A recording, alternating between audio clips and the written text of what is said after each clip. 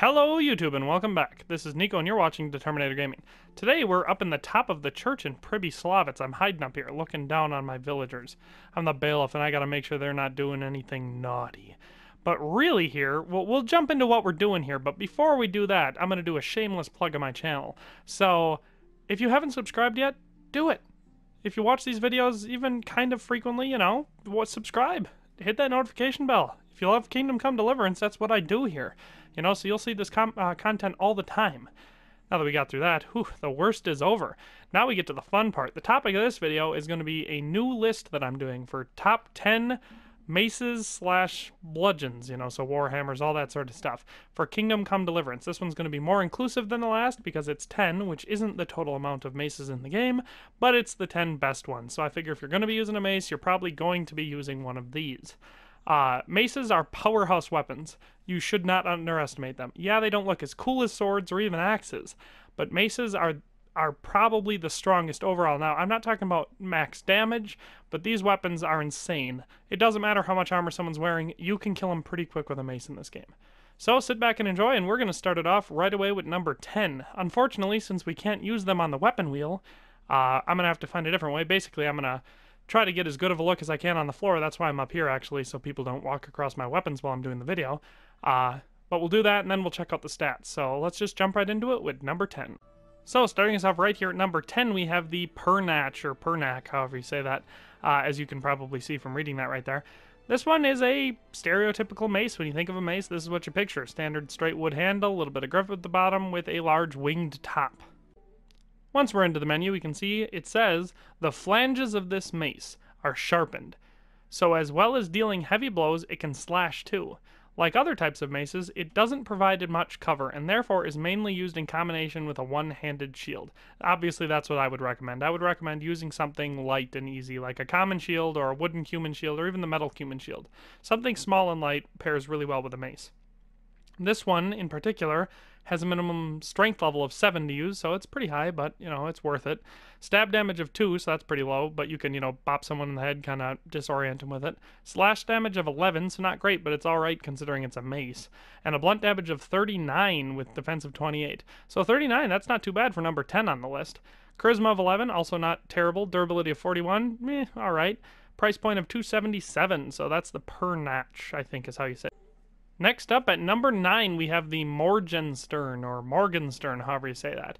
This is a pretty cool looking weapon. I mean, it's not my personal favorite, but it's alright looking. Uh, pretty short wooden handle, uh, but we have this cool looking hollow head at the top with a bunch of spikes on it. So this is a pretty cool looking mace. Something you really picture someone running out of the woods and clubbing you with. Here we can see it says, a mace with a round, star-like head covered in sharp spikes, which can deal a fatal blow to even a well-armored foe. Like other types of maces, it is not the best weapon for defense, blah blah blah. That's the same thing as the last one. Uh, here we have minimum strength of 6, so actually lower than the last one. Stab damage of 10, decent. Slash damage of 2, not very good. And a blunt damage of 40 with defense of 26. But that blunt damage of 40, that's already getting there. You know, that's a pretty effective weapon. Great for disorienting. Charisma of 10 and durability of 40. Neither of those overly impressive. Price point of 222 groschen. Next up, at number 8, we have the Spiked Warhammer. Like most Warhammers in this game, it doesn't look overly impressive when you're looking at it like this. Uh, looks much better in the menu. Uh, unfortunately, that's actually what they were like historically. You know, you don't see these big shirtless guys running around with these giant two-handed hammers with, you know, a 20-pound maul on the top. No, it's more like this, you know, something you can swing with one hand. Uh, this one here looks like it's meant you know, obviously it's a Warhammer, so it's meant for combat, but it's got the metal plating along the side, making it a bit more durable, including a metal, uh, I guess you could call that a pommel on the end.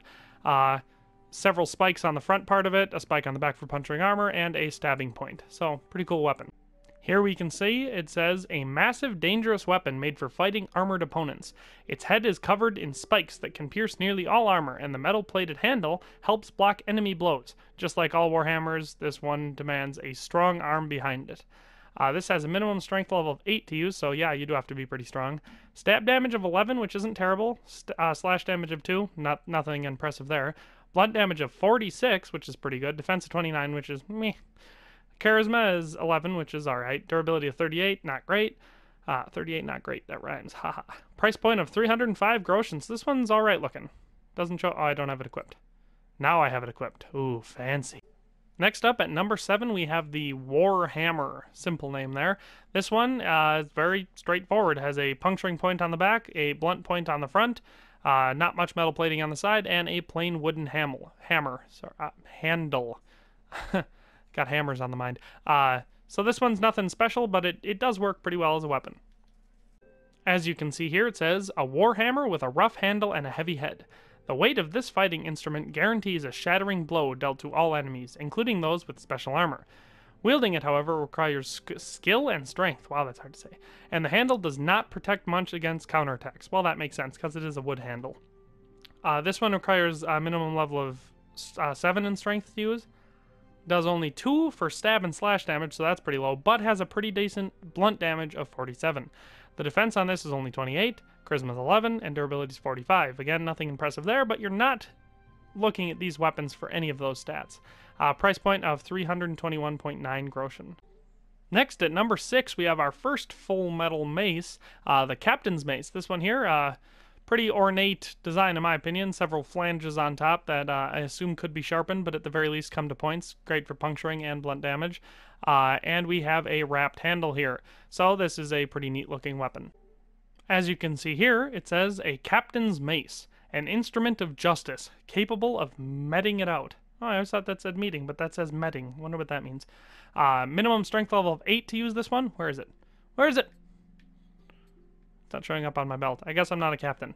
Uh, stab and slash damage of 2, nothing impressive there. Uh, blunt damage of 51, which is pretty impressive. Defense of 35, charisma of 11, and durability of 50. Uh, nothing terrible or great there, so I guess, all right. Uh, price point of 380 for this one.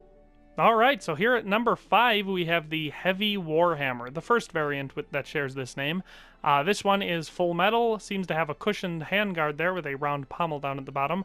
Uh, the top is very standard for a Warhammer design with a blunt point on one end, a piercing point on the other for breaking through armor, and a stabbing point on the top. Uh, I love the way this weapon looks, very neat, very orderly. Here we can see it says, a fully metal-plated warhammer that no armor can stop, and which, in the hands of a strong warrior, demands respect on the battlefield and in times of peace. I wonder if in times of peace you're just using it to nail nails. Ah, it's interesting that none of these like to show up on my belt. Anyway, minimum strength level for this one of 10, so we're getting up there. Stab damage of 25, which is decent, but I assume, you know, the point on top helps with that. Slash damage of 2, not great. Blunt damage of 54, pretty great. Defense of 38, meh, charisma of 11, and durability of 50, and a price point of 557.